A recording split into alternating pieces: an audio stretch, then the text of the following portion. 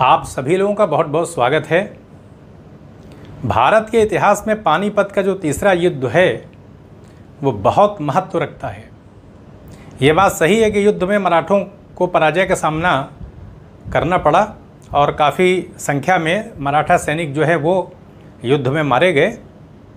लेकिन शिवाजी के समय से जो मराठा राजनीति चल रही थी तो मानना पड़ेगा कि शिवाजी ने अपनी कुशलता से, अपनी क्षमता से दिन रात मेहनत करके मराठों को राजनीतिक उत्कर्ष के स्तर पर पहुँचाया, वो भी औरंगज़ेब के समय, जबकि मुगलिया सल्तनत अपने सबसे ऊँचे स्वरूप में थी।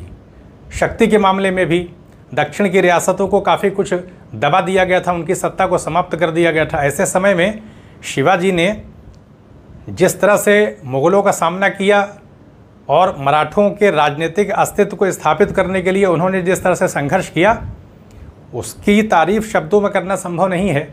ये उन्हीं की क्षमता थी, उनकी योग्यता थी कि उन्होंने एक स्वप्न देखा और वो स्वप्न देख सकते थे कि अगर दिल्ली में मराठों की सत्ता स्थापित करने का वो स्वप्न देख रहे थे तो ये स्वप्न देखना उनका उचित था।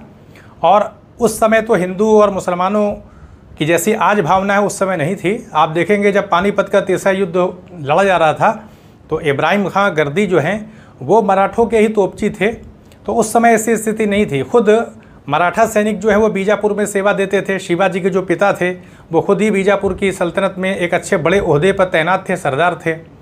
और शिवाजी को उससे लेकर के वो नाराज़ भी रहते थे कि जिस तरह से शिवाजी जो है वो बीजापुर सल्तनत के ख़िलाफ़ गतिविधियाँ करते थे तो उससे लेकर के वो नाराज़ भी रहते थे। लेकिन कहने का अर्थ है कि वैसी सांप्रदायिकता हमको देखने को नहीं मिलती है। हाँ राजनीतिक स्तर पर खींचतान चला करती थी। यहाँ पर जो आपके सामने यहाँ पे तथ्य मैंने रखे हैं, वो इस अंदाज से रखा है आपके सामने ताकि चीज़ें बहुत ही कंसाइज वे में और वस्तुनिष्ठता के साथ बातों को आपके सामने रखा जाए और ये बताने की कोशिश की जाए कि किस तरह से हालात ने, परिस्थितियों ने मराठों को अपनी तरफ़ खींच लिया। ये कोई नहीं जानता था कि अहमद शाह अब्दाली से मराठों की टक्कर हो जाएगी। होता यही है कि इंसान सोचता कुछ है और होता कुछ है। परिस्थितियाँ जब खींच लेती हैं तो किसी को भी मजबूर होकर के फिर उधर जाना ही पड़ता है। अभी आप देखिए यहाँ पर तो ये देखने की कोशिश की जाएगी कि आखिर मराठे जो है वो दिल्ली की राजनीति में मुगलिया जो दरबारी राजनीति होती है, उसमें कैसे फंस गए? क्योंकि जब वो उसमें फंस गए तो फिर उसका नतीजा क्या निकला कि अहमद शाह अब्दाली से टकराना पड़ गया। तो हम ये देखने की कोशिश करेंगे कि शिवाजी के समय में, शिवाजी की जब मृत्यु हुई थी, उस समय शिवाजी के अपने सामंत रहते थे। बाद में शिवाजी की जब मृत्यु हुई तो कुछ समय के बाद जब पेशवाओं का जो प्रभुत्व स्थापित हुआ तो पेशवाओं ने शिवाजी के सामंतों को काउंटर करने के लिए अपने सामंतों का नियुक्त करना शुरू कर दिया। तो ऐसे में सामंतों का दो वर्ग जो है, वो महाराष्ट्र के अंदर पैदा हो गया। और मराठा राजनीति आपस में क्या पेशवा जो है, वो हमेशा जो है, वो सरदारों को आपस में कहीं ना कहीं मनमुटाव वो खुद पैदा करते थे, ताकि पेशवाओं की सत्ता बनी रहे। तो मराठा राजनीति जिस रास्ते पर चल रही थी, उसका परिणाम जो था, वो बहुत सार्थक नहीं निकलता। हालाँकि शिवाजी ने जो स्वप्न देखा था, वो स्वप्न बहुत ऊँचा था। उसमें मराठों की पूरी एकता शामिल थी, लेकिन बाद में क्या हुआ कि जब पेशवाओं ने मतलब शिवाजी के वंशजों को पीछे कर दिया और सारी सत्ता अपने हाथ में ले लिया तो फिर उन्होंने अपने वजूद को स्थापित करने के लिए, कायम रखने के लिए फिर राजनीति में तरह तरह की ऐसी चीज़ें स्थापित की गई, जिससे टकराव जो है सरदारों के बीच में बन गया, जिसका परिणाम अहमद शाह अब्दाली के समय में जाकर के वो बहुत बुरा निकला। वरना मराठों के पास शिवाजी के समय में आप देखिए कि औरंगज़ेब से किसने टक्कर ली थी? वहाँ पे बीजापुर से टक्कर ले रहे थे। तो उनके अंदर तो अद्भुत मतलब प्रतिभा देखने को मिलती है।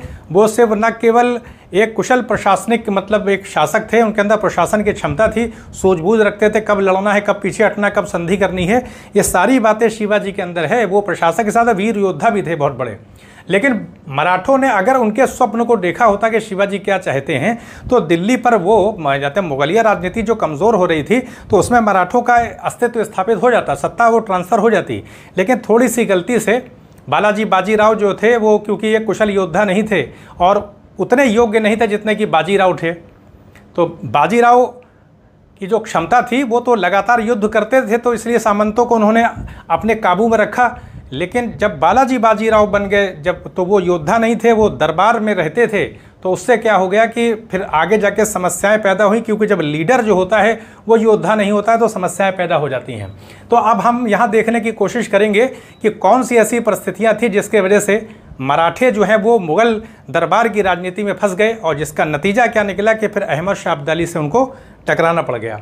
तो सबसे पहले हम देखते हैं कि जो कमरुद्दीन खां थे ये आप देखेंगे तो ये वज़ीर थे। और निज़ामुल मुल्क जो थे, वो मीर बख्शी के पद पर थे। इसी समय अवध के अंदर सफदर जंग जो हैं, वहाँ के सूबेदार थे अवध के।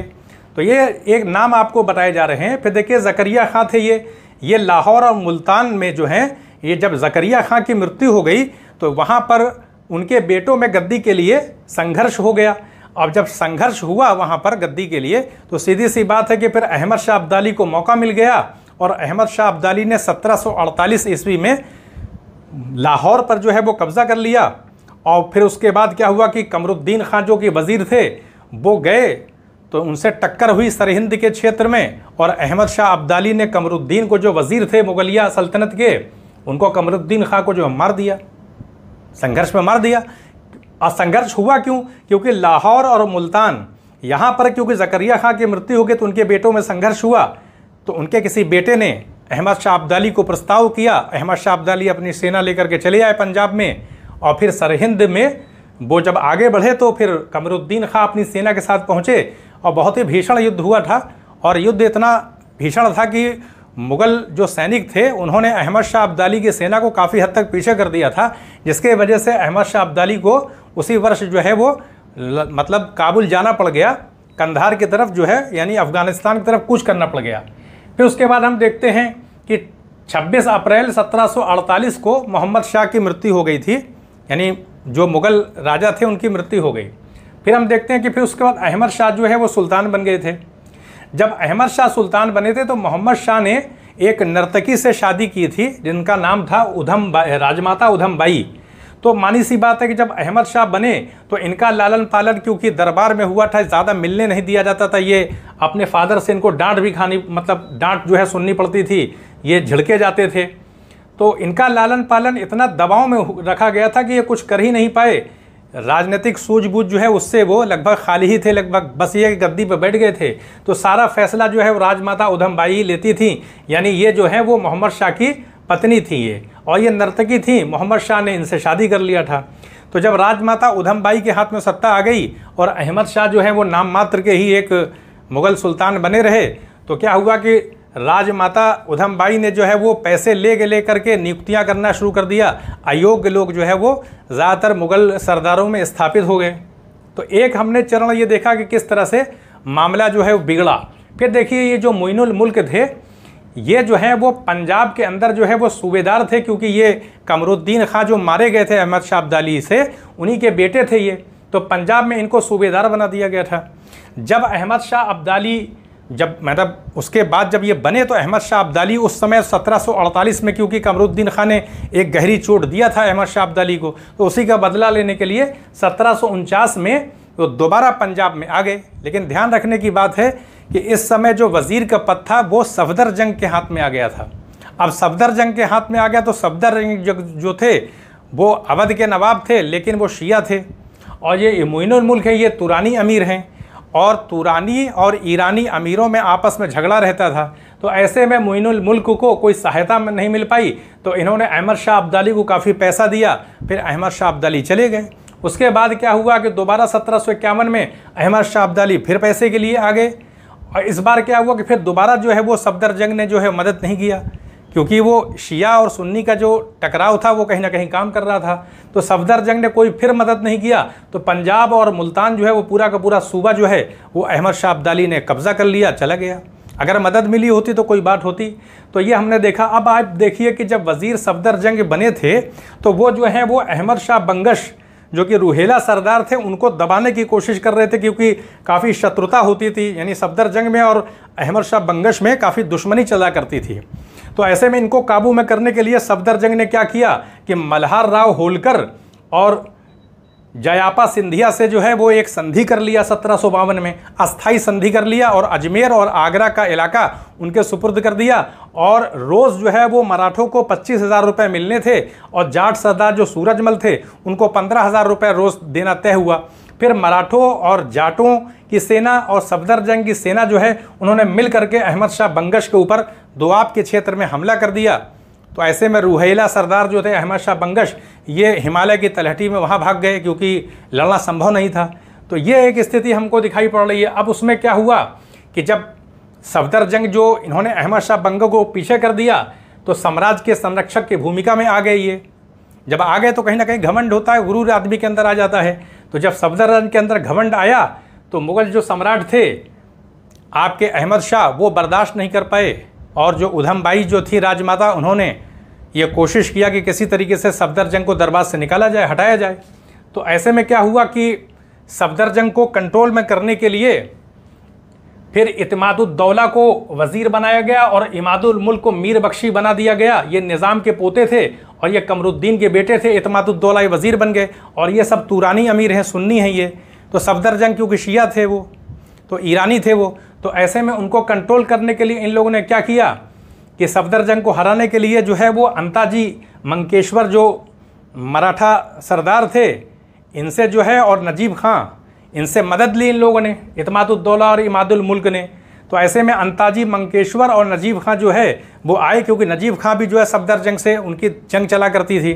तो हुआ यह कि सफदर जंग जो है, वो प्रयास उनका विफल हुआ गया, जो दिल्ली लूटने का प्रयास किया था, क्योंकि जब सफदर जंग को दिल्ली दरबार से हटाने की कोशिश की गई तो जाटों के साथ मिलकर उन्होंने दिल्ली पर हमला कर दिया था। ऐसे में फिर इतमादुद्दौला, जो कि कमरुद्दीन के बेटे थे, वज़ीर थे ये, इमादु मुल्क भी थे, मीर बख्शी थे, इन्होंने सफदर जंग से टक्कर लेने के लिए जब अंता, अंताजी मंगेशकर मंकेश्वर और नजीब खां से जब मदद ली तो सफदर जंग का प्रयास पूरी तरीके से विफल हो गया, क्योंकि अब तो शक्ति बहुत बढ़ गई थी। तो ऐसे में क्या हुआ कि जो, जब सफदर जंग दोबारा अपना अवध चले गए, फिर मानी सी बात है कि वो टक्कर नहीं ले पाए तो चले गए संधि हो गई आपस में। इन लोगों के बीच में इतमादुद्दौला इमादुल मुल्क के बीच में और सफदर जंग के बीच में बाद में संधि हो गई। जब संधि हो गई तो फिर वज़ीर इमाद ने क्या किया? अहमद शाह को जो है कैद कर लिया और, और सत्रह सौ उनसठ में जो है इनकी हत्या भी करा दी और फिर अजीज़ुद्दीन को आलमगीर द्वितीय के नाम से गद्दी पर बैठा दिया। तो यहाँ तक हमने घटनाक्रम देख लिया कि कैसे दरबारी राजनीति मुगलिया सल्तनत में चल रही थी। अब उसके बाद देखिए फिर इमाद और सफदर जंग के बीच जब जंग चल रही थी तो उसी समय इन लोगों ने जो है वो पेशवा के पास लेटर भेजा था कि हमारी मदद करिए अलग अलग से। तो पेशवा ने जो है रघुनाथ राव को भेजा था, लेकिन रघुनाथ राव जब तक पहुँचे तब तक इन दोनों लोगों के बीच में संधि हो गई थी। जब संधि हो गई, मानी सी बात है तो अब क्या किया जाए तो रघुनाथ राव बहुत बड़ी एक सेना लेकर के आ गए थे। तो ऐसे में जब सफदर जंग ने सत्रह सौ बावन में संधि किया था अस्थाई तो उसमें अजमेर और आगरा का इलाका भी दिया था। पच्चीस हज़ार प्रतिदिन मिला करता था रुपया और क्या कहते सूरजमल जो जाटों के नेता थे, उनको भी पंद्रह हज़ार दिया जाता था। तो वो जो सत्रह सौ बावन की अस्थाई संधि हुई थी, उसी के उपलक्ष्य में क्या हुआ फिर? जो रघुनाथ राव थे, वो जो है उन्होंने आगरा और अजमेर पे, यानी राजपूताना के क्षेत्र में और आपके दुआब के क्षेत्र में पूरे इलाके को लूटा। तो ऐसे में जाटों की भी नाराज़गी हो गई और राजपूत के जो, राजपूताना का इलाका वहाँ के सरदार भी नाराज़ हो गए। तो ऐसे में रघुनाथ राव ने इस तरह से अत्याचार किया था कि राजपूतों के बीच में और जाटों के बीच में और आम जनता के बीच में भी कहीं ना कहीं मराठों का एक सम्मान जो था वो धीरे से कम हो गया था। वो यही वजह बनी थी कि जब अहमद शाह अब्दाली सिद्ध हुआ तो मदद नहीं मिल पाई थी। तो ऐसे में क्या हुआ कि मल्हार राव होलकर ने दुआब के क्षेत्र को बहुत लूटा और जयापा सिंधिया ने जो है और दत्ता जी ने राजपूताना को लूट लिया। तो ऐसे में वहाँ पर क्या हुआ? एक तरह से कहा जाए कि मराठों को लेकर के एक गुस्सा जो है वहाँ के सरदारों में देखने को मिलता है। तो फिर हम देखें आगे। अब्दाली ने सत्रह सौ बावन में मोइनुल मुल्क को पंजाब का सूबा सौंप दिया था।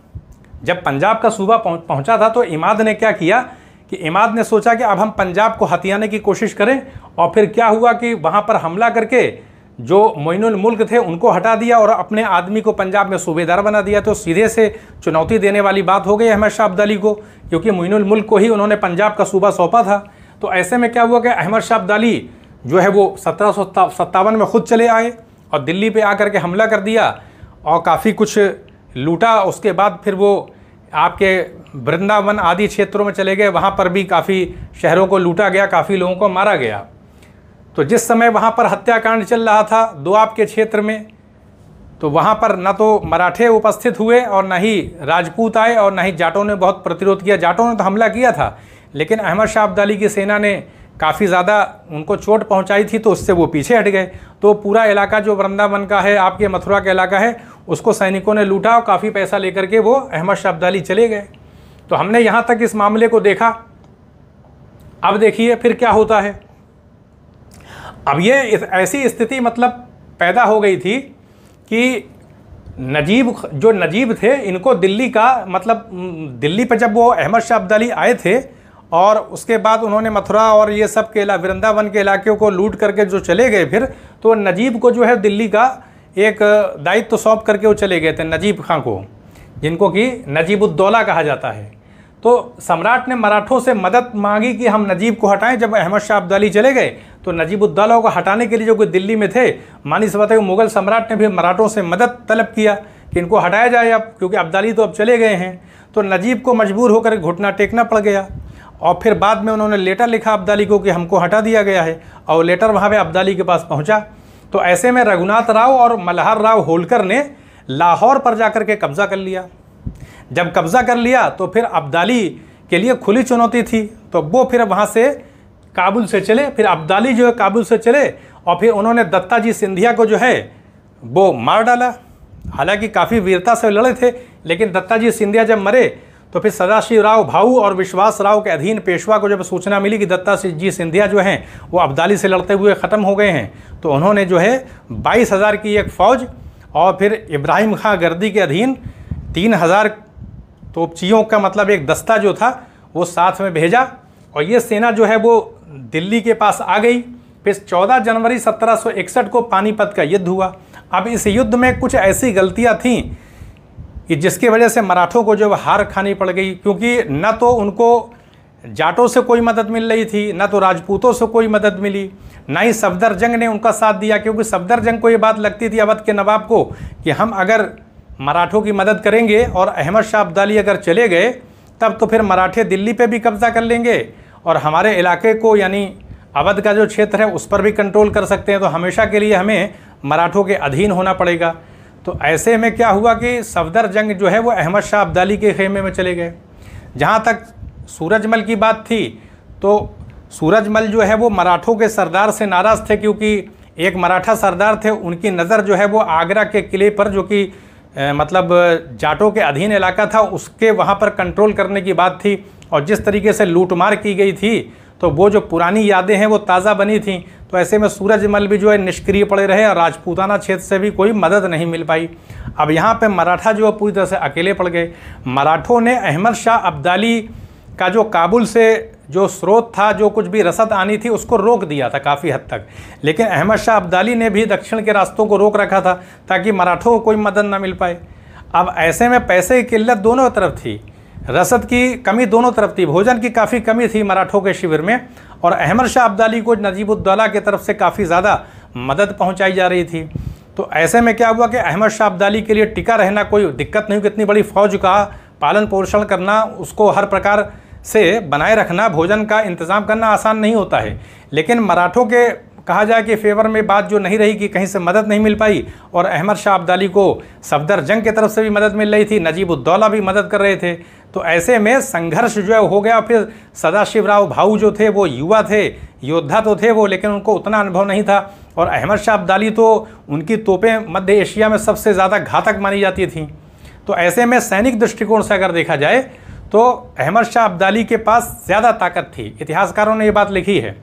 जब युद्ध होता है तो गलती ये हुई कि अपने आसपास के क्षेत्र में, यानी जो परंपरागत लड़ने का अंदाज था मराठों का उसको कायम नहीं किया गया, बल्कि अपने शिविर के आसपास एक गहरी खाई जो है वो खोद दी गई और उसी खाई के पीछे जो है मराठा सैनिक छुपे थे। अहमद शाह अब्दाली ने अपनी पूरी सेना को जो है वो बिखेर रखा था और ख़ास करके नजीबुद्दौला के जो सैनिक थे और सफदर जंग के जो सैनिक थे, उनको आगे किया हुआ था और अपने सैनिकों को उनके पीछे रखा था ताकि वो लोग धोखा दे करके भाग ना जाएँ। सफदर जंग के सैनिक और नजीबुद्दौला के ख़तरा बना रहता था, क्योंकि वो कुशल सेना नायक थे। अहमद शाह अब्दाली मध्य एशिया में लड़ने का बहुत अनुभव था। तो 9 बजे के आसपास जो है सुबह जो है लड़ाई शुरू हुई। 12 बजे तक मराठों ने काफ़ी हद तक कंट्रोल कर लिया था और ये ऐसा लग रहा था कि मराठे जीत जाएँगे। लेकिन क्योंकि भोजन की बहुत कमी थी, मराठा सैनिक लड़ते लड़ते थक गए। एक दो बजे के आसपास जो है वो एक तरह से भगदड़ मच गई और मतलब जो अब्दाली की सेना जो थी वो जब टूट पड़ी तो जब मराठा सैनिक भागे तो जो खाई खोद रखा था उसी में सब गिर गए जा करके वो जो खाई खोदना है वो घातक हो गया। क्योंकि उस खाई को पार नहीं कर पाए, उसी में गिर गए और काफ़ी बड़ी संख्या में जो सैनिक हताहत हो गए, लगभग बीस हज़ार से ऊपर, अट्ठाईस हज़ार के ऊपर सैनिक जो है मारे गए थे। तो कुल खुलासा ये निकला कि बालाजी बाजीराव जो थे वो अगर उनको, उन्होंने कूटनीतिक अपना परिचय दिया होता तो अहमद शाह अब्दाली से संघर्ष की ज़रूरत नहीं थी।